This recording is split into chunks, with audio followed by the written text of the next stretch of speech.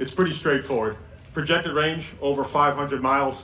Make the battery a little bit smaller, fill that space with a gas tank, and get the range that you see there. I think there's a couple critical points we want to make, which is crucial. First and foremost, with the range extender, it's still a Scout. All of that great ability, all of that capability, all of that ruggedness, nothing goes away when you get the range extender. I think another critical thing, it's still an EV. It's got the packaging of an EV. You still have the frunk, you still have all the packaging. The battery will drive both of the axles. Of course, the engine will power the battery. So this gives you a proper EV experience with, of course, the generator. The third thing that's critical for us in these times, of course, is the future-proof. Makes the platform future-proof.